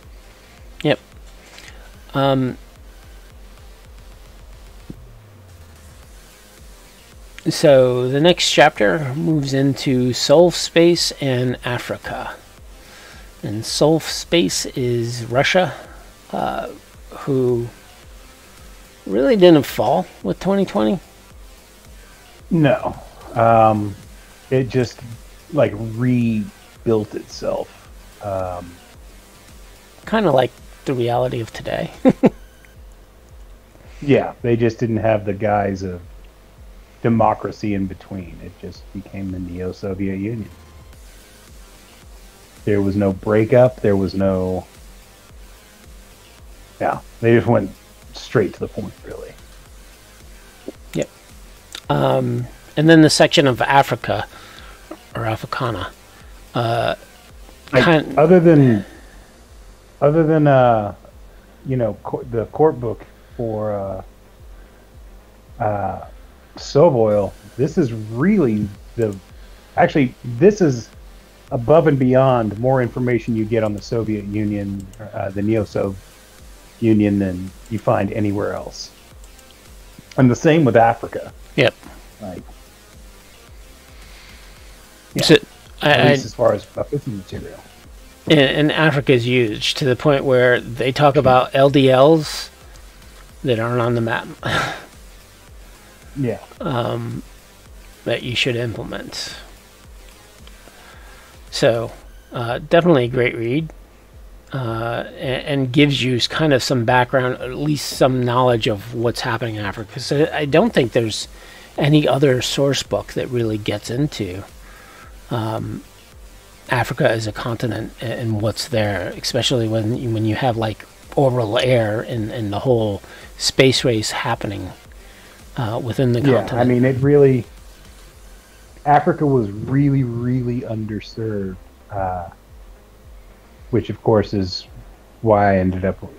It and South America are why I ended up doing the two conflict source books, and you know, the third conflict source book about uh, you know the neo-Soviet bloc is uh, it's always been on the back burner um, because there's just so little information about these countries in the books or these continents. So your your next uh, conflict book is going to be about India. You know, now that you frickin' mention it, that's that's apparently there's at some point maybe going to be a conflict four after the Neo-So dealing with India and Pakistan. Thank you. You're Thank welcome. you so very much. I, I've given you I've given you a task after your uh, after your uh, supplement on the uh, the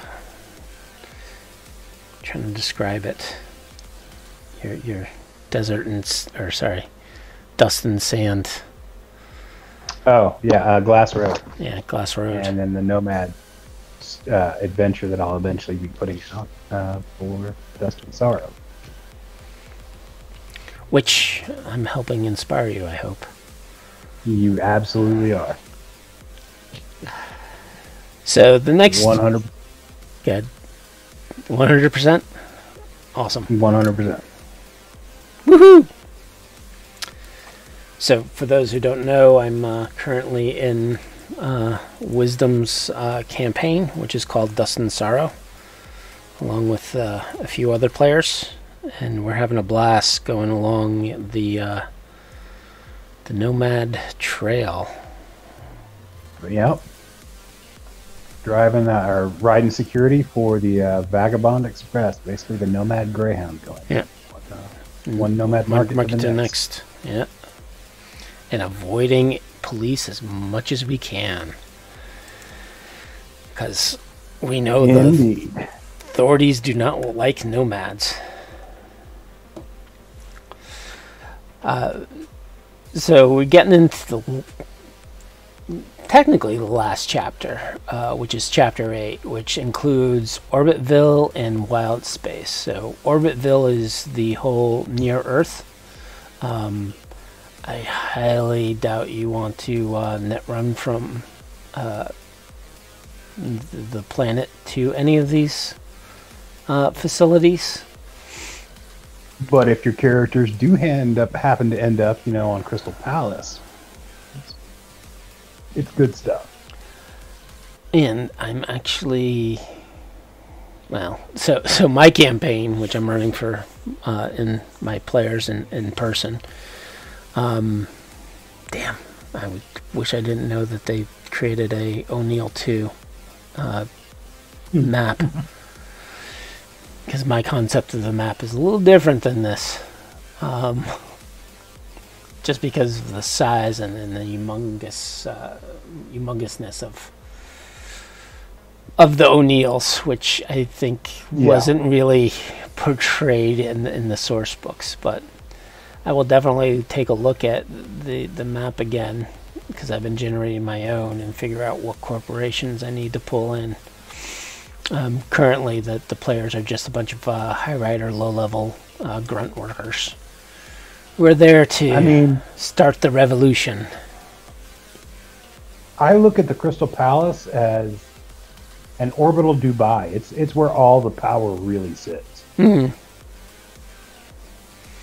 And the map is so small too.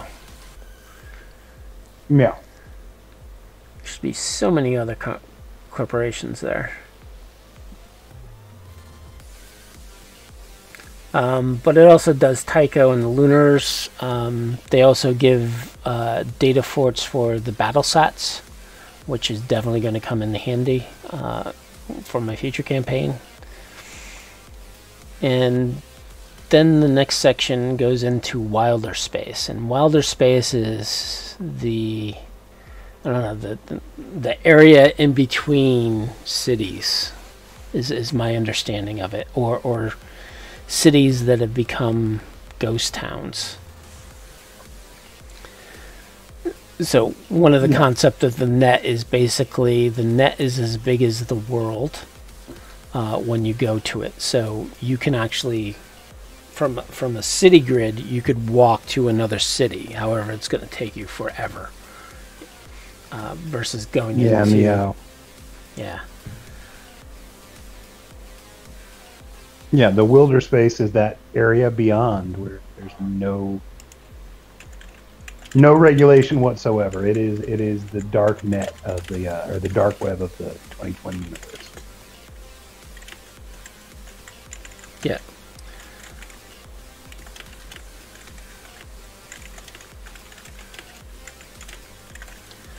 I'm just replying to someone. Um, so Robert Tables says, "Yo, so many movies I've seen remind me of something that could be in red. Have you seen the platform?" Um, is the platform the movie in which there's a platform that gets lowered to various levels, and it first starts off with an abundance of awesome food, and each level Yeah, people a on that, yeah. It's kind of like the cube. Like lower levels just get you know what's left over and what falls down. yeah. Oh, I love the cube zero. Yeah, so those movies are interesting, um, and and even the Cube. Yes, you you could consider them kind of cyberpunky, right? In which a, a corporation is doing some type of psychology experiment against humans, uh, and Robert, if if you really like uh, the platform, you need to check out Cube Zero and a movie starring Christopher Lambert called Fortress. uh, Fortress was good. It will be right up your alley. Yes, it was. Yeah, um, and Cube Zero, I think, was the final in that series. Actually, I think it was like a prequel to all the others, but it was. I think it was the last one made. Yeah. Yeah, the, even the pre the first one was just crazy amazing.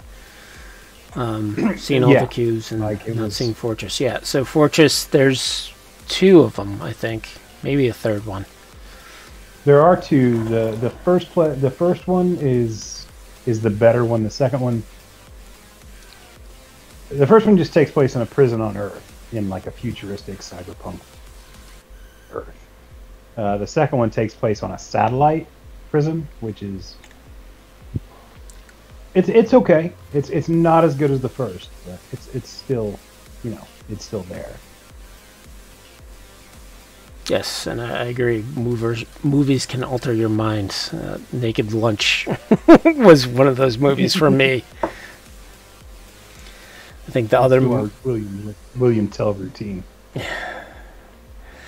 The other movie was The Exorcist, which was this kind of the most scary movie I ever saw because I saw it as a kid, like when I was. I mean, Six or seven years old? like, movies, movies don't tend to scare me, but The Exorcist genuinely dis- disturbed me. Um, it was a masterpiece of horror. And there was a.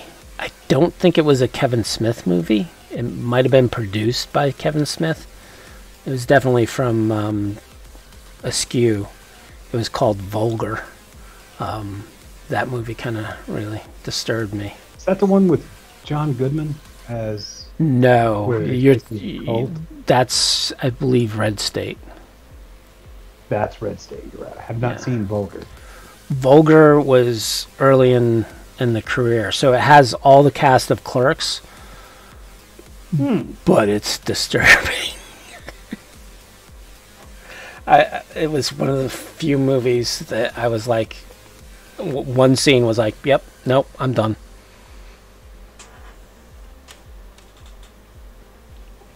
Um, but yeah.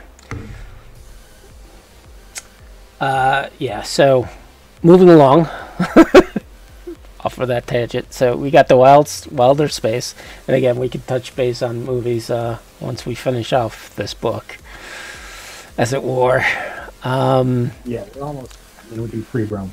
yeah. So this move, this um, section actually talks about Beijing, and I think the how it turned into that ghost city. Um, and, and from Red, right? So so the whole virus and how human AI or the AIs kind of took over it.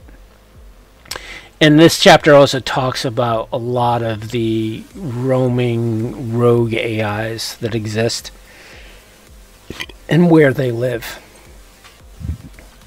Um, and then finally, you get into the rules appendix, which Yeah, this is the first time in the book you actually get meat as opposed to fluff. consolidated meat.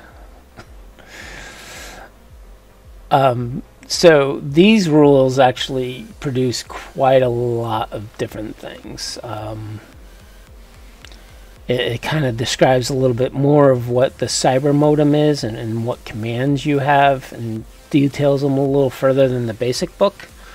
Um, the other rules, which kind of like really opened my mind into like you know, as a player, I was like, oh, I'm going to make a netrunner. Oh, wait, mainframe hacking? What the hell is this all about? Holy Christ. Yeah. I can hook up my deck into a mainframe and, and make it even more awesome? This, I mean, it's only one, two, three, four, five, seven, eight, nine. It's ten pages uh, at the very end of the book, but it expands, you know, the netrunner role and what what they can and can't do in the internet, and what that all means, uh, more than any other book in the in the in the series, in, in the franchise. Yep. it really it really takes a it really expands out the netrunner role uh, these rules And it they were much needed at the time yeah, and this also gives you like rules in which you can do uh, battle programming. So you can actually have, you know, the, the concept is that netrunners would gather at like um, sh- sh- uh, short circuit and and do yeah fights to determine who who's the the better hacker, as it were. Um, so it kind of gives you a little uh, how to play that out. Somebody had just watched hackers when they read this Well, when when I read these rules again, um, uh, for whatever reason, I don't know if you saw the the TV series called The IT Crowd. It's a British. that is my favorite sitcom a british show of all time Yeah, when they, uh, what was it called? Word something. I forget what I forget what it was, but basically Moss was like, there's there's a, a, a TV show over in Britain, and I forget the name of it, but it has to do with word count. So you get a bunch of letters, Letter and you, count. yeah, yeah, you, you make a basically make a word. jumble, but on a But- game show format the whole underground of all these like computer nerds doing this thing. just being badass in Yeah. their own little environment. It was it was beautiful. Like the whole Yeah. show was. I really wish there was more of that. Plus, Yeah. that's the show that introduced me to Matt Berry, who I think is one of the funniest individuals of all time. Yeah. So, if you're looking for a good Netrunner television seri- series, go watch uh, IT Crowd. Um, it'll get you into the corporate Netrunner. Um, the other thing within this section is uh, the micronets. So all those people who are looking on how to how can I hack a device, um, this kind of give you some broad uh, ideas Yeah, on how to ex- do it. Yeah, it's not exactly that, but it acts as kind of a template for it, um, uh, like a a concept guide, as if you if you- if you will. And you will have to read this multiple times to kind of put your head around it. Um, It also, if if I recall correctly, uh, this is where like runner to runner combat, like first becomes a like something codified with rules. yeah, Before that, it was just always assumed you'd only ever be running, you know, net runners against databases, as opposed to you know, net runner on net runner combat. Yep. And also in this section, um, you have some gear porn, right? Some cyber deck, some cyber deck enhancements, some programs. Um, they also stat out various uh, Netrunner templates. So if you need some stats and, and want some uh, quick and easy uh, Netrunners to kind of plug and play into your game, that's also here. Also here is uh, Rache Bartmoss's uh, skills and Spider Murphy's, and of course, Yeah, they're complete write ups, stats, skills, gear. Like this is what you need to know about and about these bastards. Bartmoss is a god. Yeah, he is unbelievable. Um, I mean, he's got stats that you know you would kill for. System knowledge 13. I think that's Yeah. the highest skill he has, but he goes above and beyond what is capable within the rules. Um, which, of course, you know, being being the god amongst netrunners, of course, you're going to have to have something that players want to achieve but will never have because a, referee is never going to give it to them. Yeah, yeah, exactly. Like it would sure be nice to have you know skills that go above ten for my character. Yep. Nobody else's, mine. Um, So now that we've finished, wh- which, where do you think in in the various media's, sorry, do you think um, portrayed the net the best? Right? Was it like Johnny Mnemonic? Um, as far as the representation of the net itself, that's an easy one for me. There is an episode of Futurama where they go into the net, and I think that's probably everything is wireframes, uh, and as the closer you get to like um, institutions with money and and power, like they become more intricate, and you know color gets introduced and all that and detail. But yeah, that that that that- that episode of Futurama where they go in the net is is probably about perfect for how I see it and how I run it in my game. yeah, I, I like that. Um, for the net itself, right? The the vast majority, I I always look at it like um, from Johnny Mnemonic, right? In which it's just this Yeah. flood of ads, data forts, tons of craziness that's in there. But when you get into the actual data fort themselves, um, one movie I really liked was uh, Disclosure with Demi Moore and uh, Oh Like- yeah, that was a that was a good representation. and uh, Michael Douglas. I thought from from a data point of, or data fort point of view, in which they were actually in the data fort, and you see a user with kind of their their icons or, or their avatars Yeah. walking around, going to a a file cabinet, pulling out files, and, and that craziness. Um, I yeah, really that's that's it. that was a pretty good representation too. Like that definitely falls into one of the better better visual representations of, of what the the virtual net would look like. Um, yeah, and that's a there was a that- mod on. go ahead. Go ahead.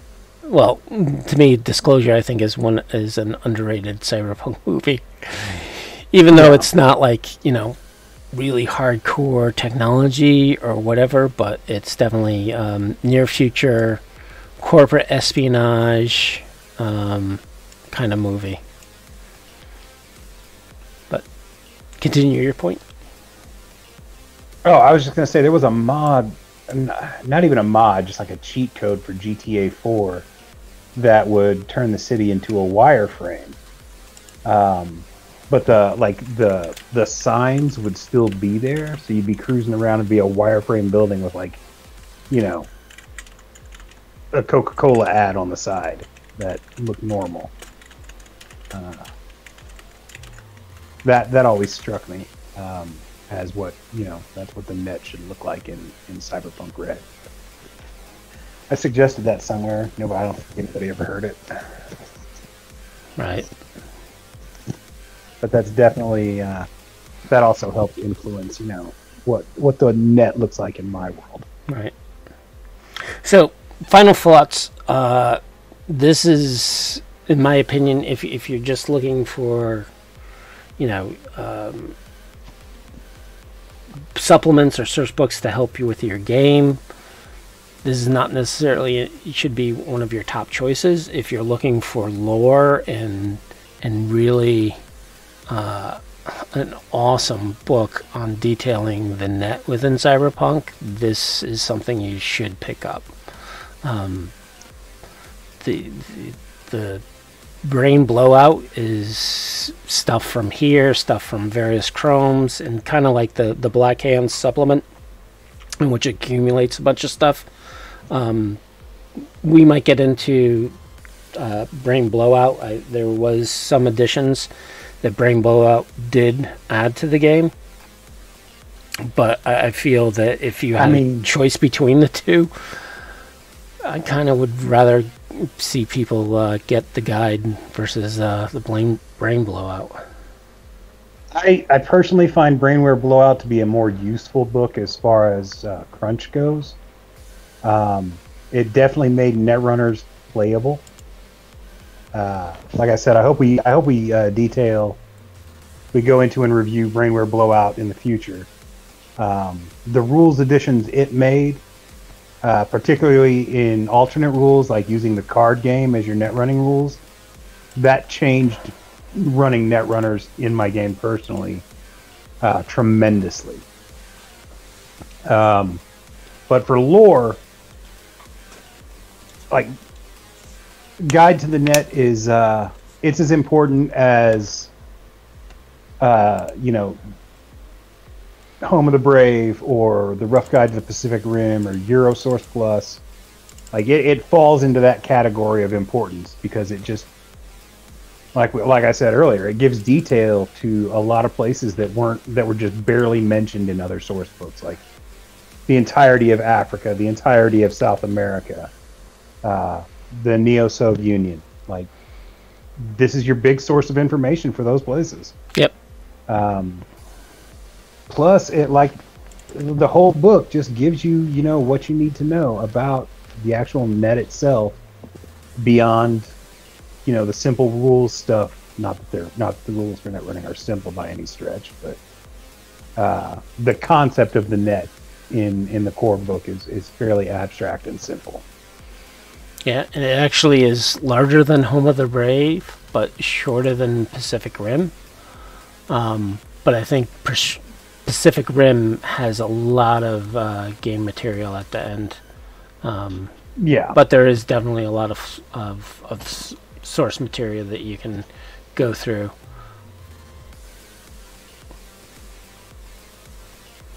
So yeah, um, any other things we should be talking about with this book, other than Bartmoss is fucked up and crazy? i mean we can we can do a whole episode on how fucked up and crazy Bartmoss is that dude is that dude is beyond nuts and uh yeah it's uh he was the one of the like core npc personalities that really had an impact on the actual world itself um, other than like the heads of corporation npcs um, like Morgan Blackhand and Johnny Silverhand, they never get mentioned in any game I run, but people mention Rache. Yep. He's Well, he took He's down the net. Well, we didn't play that. We didn't. Like I said, we ignored the events of Warfare 4. Didn't happen in my game, but you know. So Rache Bartmoss is still out there being crazy. Yeah. But definitely an interesting character, and and it's the dialogue and the the the viewpoint that the writers took, um, trying to get uh, Rache's uh, point of view, made him a very interesting character throughout it. Um, and again, definitely well worth the read. I mean, yeah, he's written. They write him like as a cross between Hunter S. Thompson and uh, William S. Burroughs and Bill Gates. Like the dude is, he's just not there. Yeah. He's on a on another level, talking to space fish and stuff. Exactly. and you need that crazy. All right. Um, you do. Anything else before we close out? We're almost at uh, our two-hour mark. Uh, no, I think that's about that about covers everything we really wanted to talk about today. Um, next show we'll uh we'll have some interesting stuff lined up. I think I'm going to try and uh, hook up an interview. No promises yet, but uh, If not, we'll we'll find Yeah. a topic that we can talk about. Um, we we've talked about a few topics that we might want to cover. Um, just because I think we know we can definitely talk about that particular topic for two hours, well, without Absolutely. rambling too much. I hope, uh, which we are known to do. if any of you guys live in audience or uh, on the streaming from YouTube, uh, if any of you uh, have any suggestions, questions, or ideas, shoot them our way. Uh, either on the YouTube channel, here on Twitch, on uh, the Cyber Nation Uncensored Discord, or uh, Will's Cybersmily uh, page, uh, Discord page. Yep. Um, heck, if you want to send it to personal emails, I'll take those. Um, Facebook, whatever. Uh, once again, we'd like to thank Cyber, Cyber Nation Uncensored for hosting us. Thank you, Rob. Yeah, thank you, It's Rob. always a pleasure. Um, yeah. Uh, look forward to seeing you guys in two weeks. As always, thanks for listening. Yeah. Um, so, like Rosem has said, you can. We, we are out in the world. Um, specifically for me, you can come to uh, cybersmily.net. That's without the E uh, in the cybersmily. Um, and you can check out all my utilities. There's a lot of uh, 2020 stuff as well as Red um, source material that I, I kind of consolidated and, and allow you hopefully to easier access uh, to that data. Um, uh, I do have a, a Discord similar to uh, Cyber Nation Uncensored. Um, I also am on quite a few other Discords, so if you do an at Cybersmily, there's a good chance you're hitting me.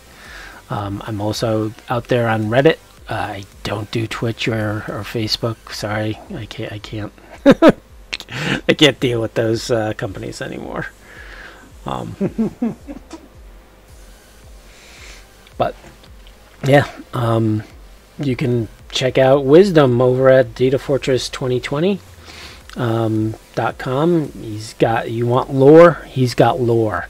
My site is more I utilities um, and and helps you with your game. Um, wisdom uh, definitely has the wisdom. Um, also, check out his archives. Uh, there is a lot of stuff from old Site no Yeah. longer exists. Exactly. So back in the day, there was hundreds of sites, uh, fan sites that were were created, and all of them have have fallen throughout the years through attrition. Um, but wisdom I think has at one point there were like 280 sites on my link list, and now there's less than 50 active ones, and mo- and other than yours and mine, I don't Yeah. think any of them are updated Um, in quite a while. yeah. Well, I remember the web rings um, and trying to get into Oh, yeah, the web various rings. web rings. um, but yeah, just Those uh, those have disappeared completely. So if you're looking for old material or old ideas, uh, the file project that's on uh, Data Fortress 2020, you can definitely try to find.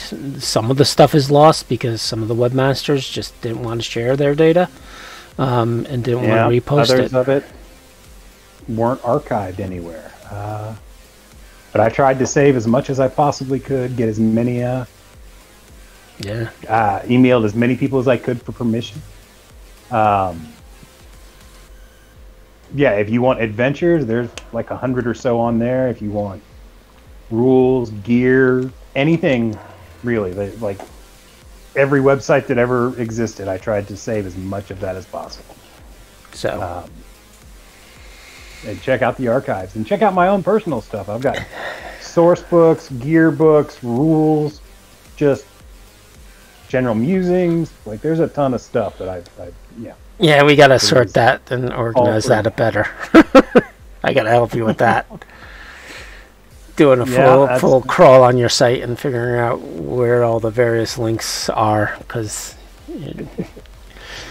What's funny is is there's a uh, there's a straight up like I don't want to say argument, but like there's half the people on the internet think my site should stay the way it looks as like a tribute to you know the retro 90s I don't have a problem with how it looks. I have a problem with trying to find anything on that site. I mean it's simple Sure, I. I go to Sourcebook and underneath. Well, no, because each Sourcebook has some gear that doesn't always link to this to the gear section. But At one point, the last time I updated the gear books, I added all the gear from those source books. So. Yeah, I think It there's there's a Google utility that can actually just target your site with all your pages and find stuff. So I, I I'll do some research and give you like a little search box that basically is powered by Google, but will will find whatever's in that site and on whatever page you might have hidden scrolled away in a in a, a rabbit hole of links that you have to follow to find that that data. Yeah, that's the real problem. Is I've had to change hosts so many times that I tried to fix all the links, but I'm sure there are still some hiding Yeah. that don't link to anything anymore. So I'll see what I can do to help you out with that. Um, all right, I think we're done. All right, As everyone. always, thank you for listening. Uh, see you guys in two weeks. Yeah, see you next month. Ta ta.